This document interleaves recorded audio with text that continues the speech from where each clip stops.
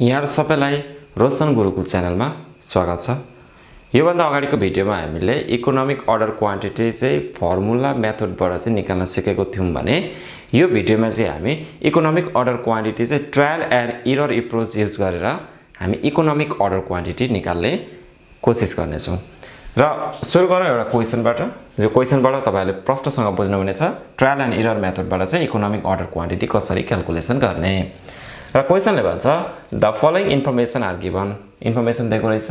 Annual requirement भनेर दिएको छ जसलाई हामी एले डिनोट गर्छौँ sixty thousand units ordering cost per order भनेर दिएको रहेछ जसलाई हामी ओले डिनोट गर्छौँ equals to rupees six hundred per order र क्यारिङ कस्ट दिएको छ carrying cost per unit rupees per year rupees zero point five zero zero point five zero हेर्ने पचास पैसा लाग्ने रहेछ एउटा युनिट चाहिँ क्यारी गरे बापत पर इयर त्यसपछि रिक्वायर्डमा सोध्दैछ। EOQ by using trial and error method trial and error method use गरेर चाहिँ इकोनोमिक अर्डर क्वान्टिटी निकाल्नुहोस् भनेर सोध्दैछ। र मैले एउटा सानो यहाँनिर फर्मेट बनाएको छ। यही फर्मेट फलो गरेर सजिलैसँग economic order quantity trial and error method use गरेर सजिलैसँग निकाल्न सकिन्छ। र यो क्यालकुलेसन गर्नुभन्दा अगाडि ट्रायल एन्ड इरर मेथडबाट चाहिँ इकोनोमिक अर्डर क्वान्टिटी क्यालकुलेसन गर्नुभन्दा अगाडि एउटा सानो के क्यालकुलेसन गर्नुहोस् भने इओक्यु निकालिदिइहाल्नुहोस्। अगाडि नै। Under root two AO by C कति आउँछ? अन्डर टू भनेको चाहिँ फर्मुलाकै भएको? ए भनेको सिक्सटी थाउजन्ड युनिट छ. Into ordering cost per order भनेको चाहिँ सिक्स हन्ड्रेड छ divided by zero point five zero यति गर्दाखेरि कति आउँछ भने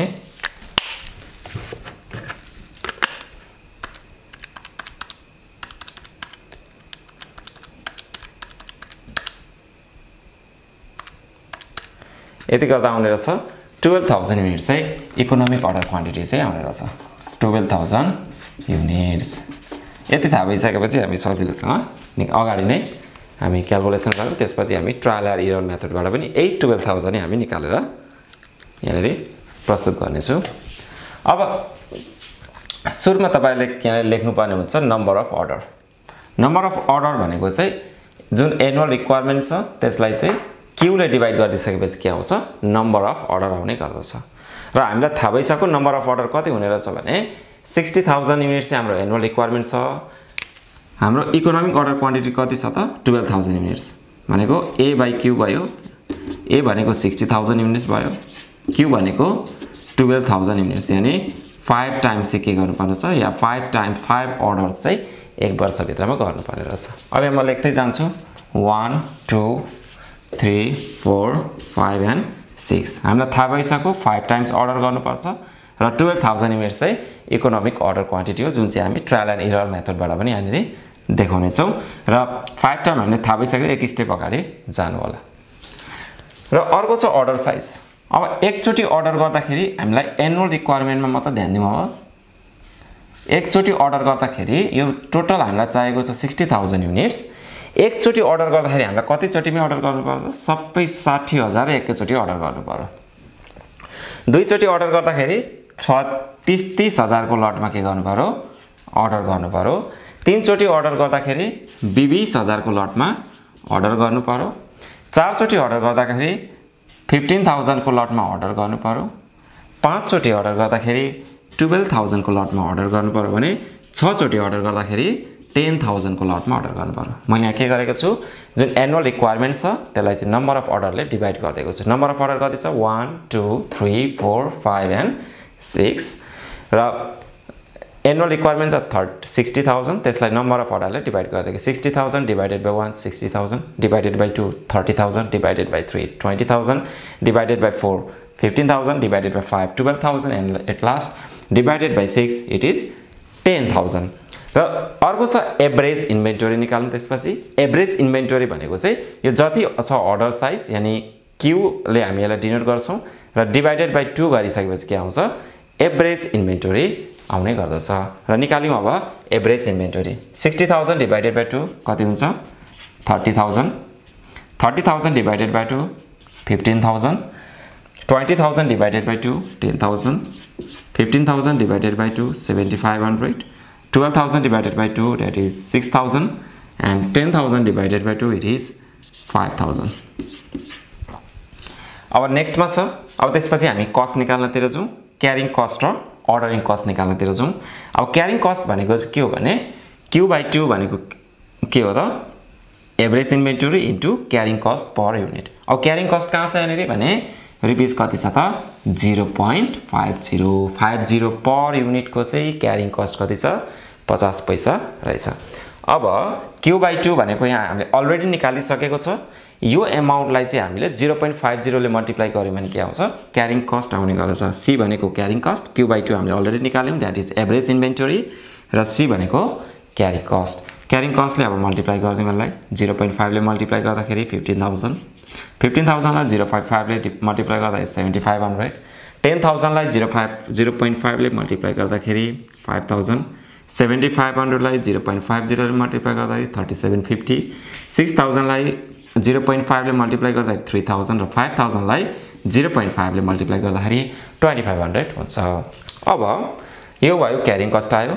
अब अर्डरिङ कस्ट निकालौँ। अर्डरिङ कस्ट निकाल्दाखेरि चाहिँ जतिचोटि नम्बर अफ अर्डर छ यानि annual requirement divided by quantity quantity annual requirement divided by quantity गरिसकेपछि नम्बर अफ अर्डर आउँछ। नम्बर अफ अर्डरले चाहिँ कत पर अर्डरको चाहिँ कस्ट कति छ हो त्यसले मल्टिप्लाई गरिदिइसकेपछि अर्डरिङ कस्ट आउने गर्छ। ए बाई क्यु भनेको कति छ त अब? अल हामीले अलरेडी निकालेको छ। One two three four five and six हामीले लेखेको छ। ए बाई क्यु भनेको number of order number of order into ordering cost per अर्डरले गरिदिइसकेपछि के आउँछ? यसको अर्डरिङ कस्ट आउने गर्छ। नम्बर अफ अर्डर कति छ one into six hundred that is six hundred two into six hundred twelve hundred three into six hundred that is eighteen hundred four into six hundred that will be twenty four hundred five into six hundred three thousand र six into six hundred that is thirty six hundred यो भयो ordering cost अब at last हामी के निकाल्छौँ? Ordering cost plus carrying cost गरिसकेपछि के आउँछ? टोटल कस्ट आउने गर्छ। यो भयो क्यारिङ कस्ट यो भयो यो कोलम भयो अर्डरिङ कस्ट सरी यो रो भयो अर्डरिङ कस्टको र यो रो भयो क्यारिङ कस्टको दुइटालाई जोडिदिउँ। फिफ्टिन थाउजन्ड सिक्स हन्ड्रेड भयो हाम्रो टोटल कस्ट यसमा आयो eight thousand seven hundred total cost भयो। यसमा हुने भयो six thousand eight hundred total cost हुने भयो। यसमा हुने भयो six thousand one hundred fifty total cost हुने भयो। ओके यसमा हुने भयो सिक्स थाउजन्ड रुपिस हुने भयो टोटल कस्ट भने यसमा हुने भयो sixty one hundred total cost र इकोनोमिक अर्डर क्वान्टिटी भनेको त्यस्तो क्वान्टिटी हो जसले चाहिँ ओभरअल कस्टलाई के गर्छ त मिनिमाइज गर्छ यानि क्यारिङ कस्ट र अर्डरिङ कस्टलाई मिनिमाइज गर्ने गर्दछ। अब हेर्नुहोस् त यहाँनिर सबैभन्दा मिनिमाइज कस्ट कहाँ छ त? सिक्स थाउजन्ड युनिटमा छ। सरी टुवेल्भ थाउजन्ड युनिटमा छ होइन? जसको चाहिँ टोटल कस्ट कति रहेछ त? सिक्स थाउजन्ड रुपिस छ। यो कोलम हामीलाई चाहिएको जुन चाहिँ अलरेडी हामीले क्यालकुलेसन गरेर निकालिसकेका छौँ। अब अर्डर साइज कति छ त? हेर्नुहोस् त अर्डर साइज हाम्रो कति छ? टुवेल्भ थाउजन्ड युनिट छ। जसको चाहिँ टोटल कस्ट के छ? सिक्स थाउजन्ड युनिट छ। र हेर्नुहोस् त ordering cost sorry ordering cost र क्यारिङ कस्ट त्यो पनि इक्वल छ। हामीले अलरेडी अगाडिको भिडियोमा भनिसकेका छौँ। इकोनोमिक अर्डर क्वान्टिटी त्यस्तो क्वान्टिटी हो जसले चाहिँ ओभरअल कस्टलाई मिनिमाइज गर्छ र त्यतिखेर मिनिमाइज हुन्छ जतिखेर अर्डरिङ कस्ट र क्यारिङ कस्ट इक्वल हुने गर्दछ। अब अगाडिको भिडियो तपाईँहरूले हेर्नु भएको छैन कृपया त्यो भिडियो प्रष्टसँग हेर्नु होला पार्ट वान त्यसपछि मात्र यो भिडियो हेर्नु होला र यो भयो तपाईँहरूको के त economic order quantity that is twelve thousand unit अब यहाँ लेख्नुहोस् लेख्नुपर्ने हुन्छ तपाईँले।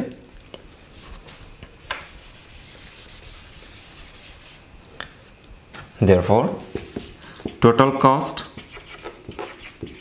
at 12000 units. Order size is lowest that is rupees 6000 so the economic order quantity is twelve thousand units भनेर लेख्नुहोस् इकोनोमिक टोटल कस्ट चाहिँ टुवेल्भ थाउजन्ड युनिटमा के छ? लोएस्ट छ that is rupees six thousand र इकोनोमिक अर्डर क्वान्टिटी चाहिँ कति हुने भयो? टुवेल्भ थाउजन्ड युनिट भयो। र यसलाई कपी गर्नुहोला।